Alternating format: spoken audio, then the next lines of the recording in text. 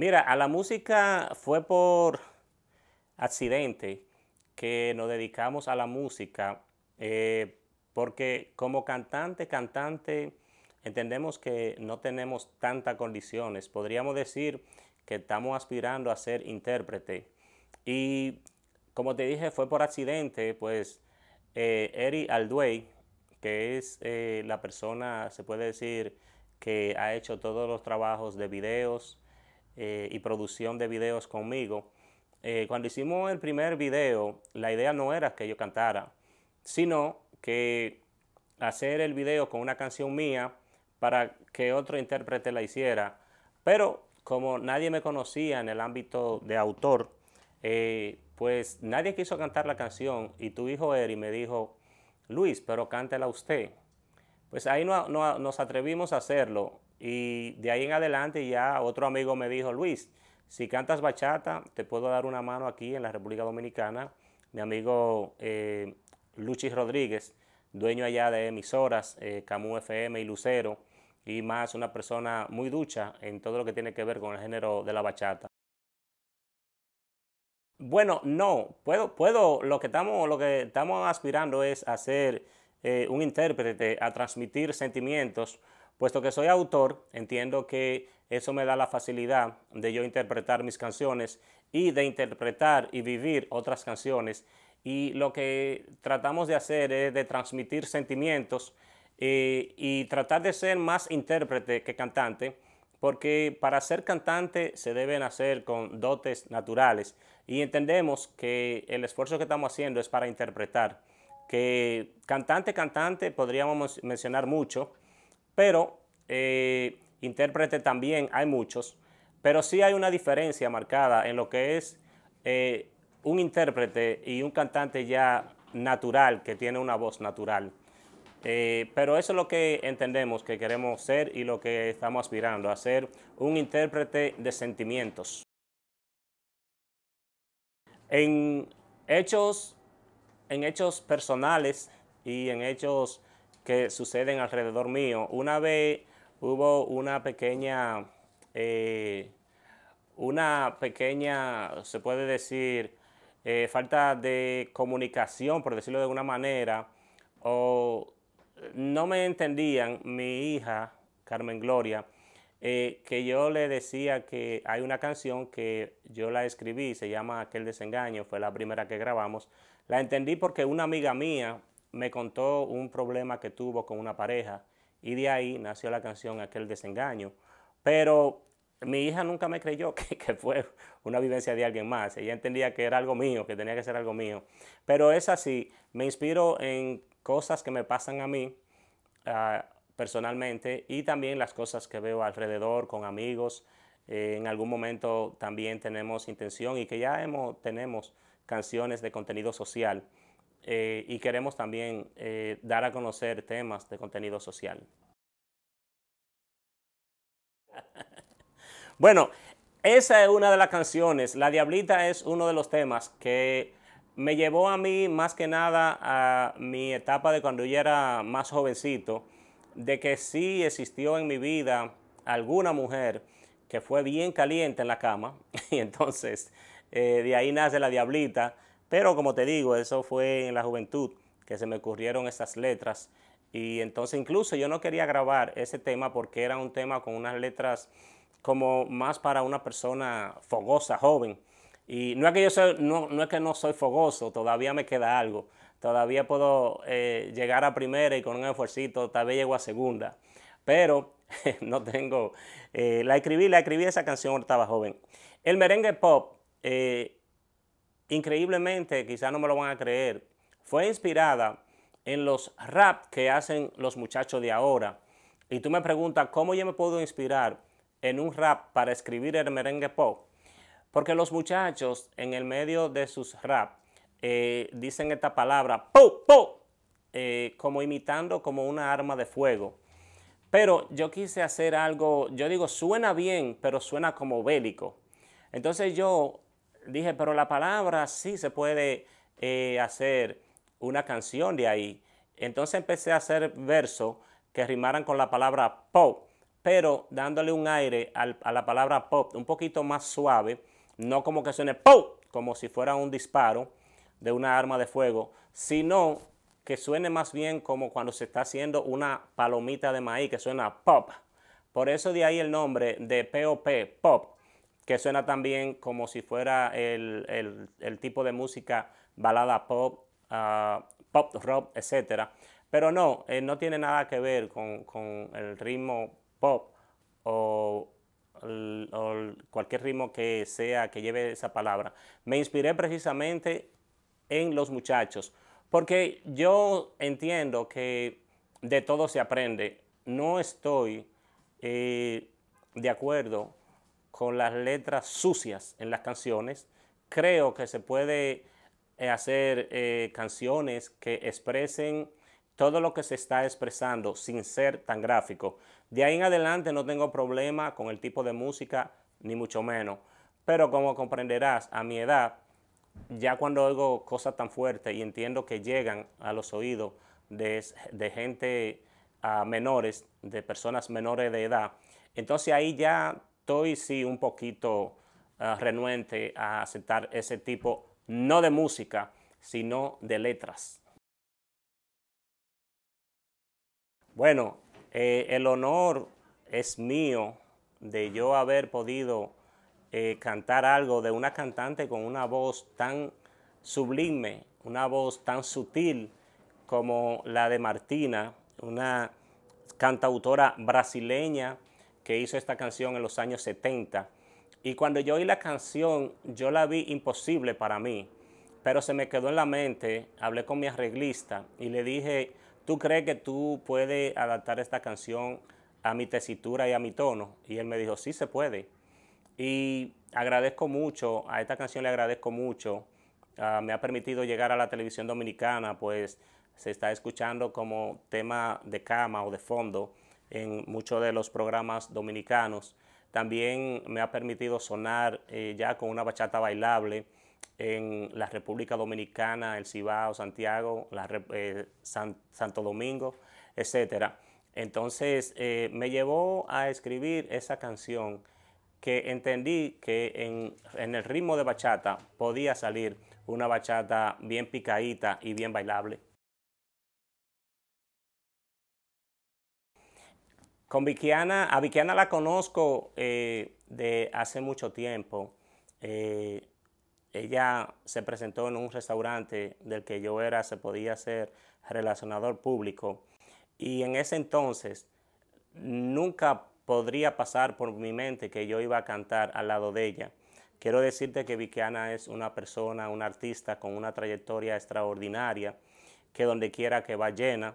Eh, ese ha sido el caso, la repercusión y el feedback que tenemos de la gente para la presentación de hoy es, muy buena, pero me siento como que es un privilegio demasiado grande para mí eh, y los nervios eh, están ahí porque voy a cantar al lado de la Maidita, que ya tiene una trayectoria y es una cantante con, un, con una trayectoria, perdonen la redundancia, eh, que es bastante amplia. Entonces sí, los, los nervios están ahí un poquito por eso, pero para mí creo que es un reto más y es un honor grandísimo que ella haya aceptado eh, compartir escenario conmigo. Gracias por la oportunidad eh, y gracias otra vez de nuevo. Me, gustan las entrevistas, me gusta eh, explicar todo acerca de Luis Manuel y ha sido un placer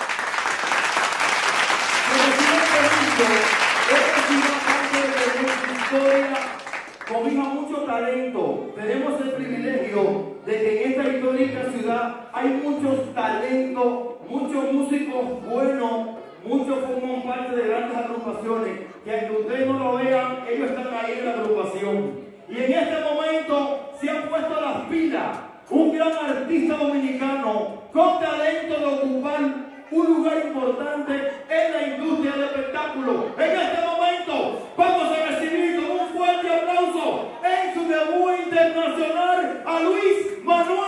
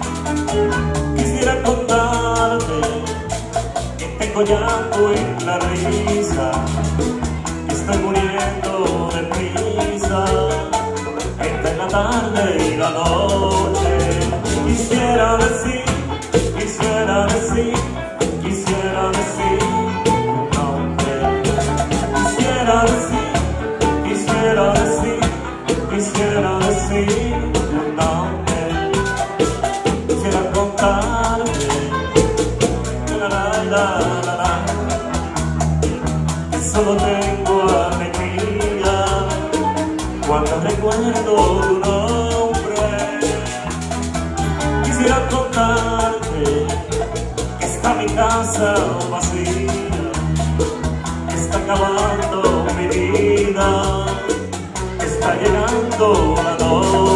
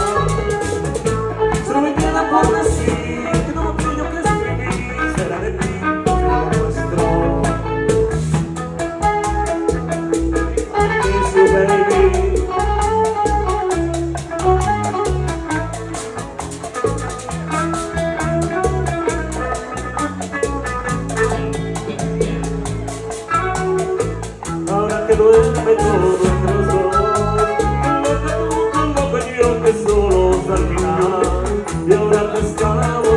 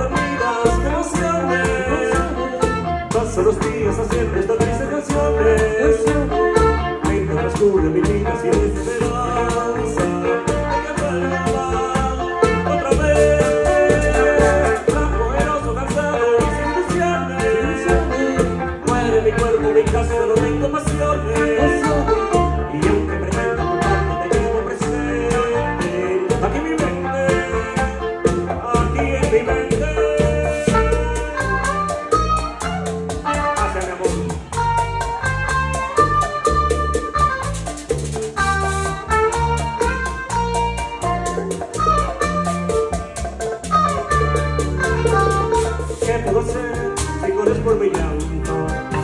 Reinaba se vivió la condena de un rato Tal vez está, quiero poder llamarte.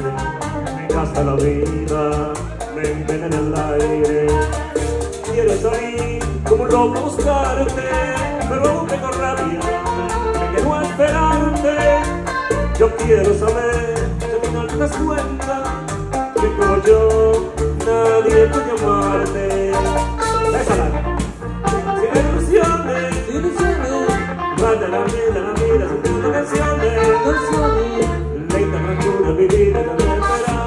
Esperanza. Bésala, bésala. Vuelvas otra vez. Blanco, airoso, cansado y sin ilusiones. Muere mi cuerpo, mi casa, no tengo pasiones. Y aunque pretendo ocultarme, te llevo presente.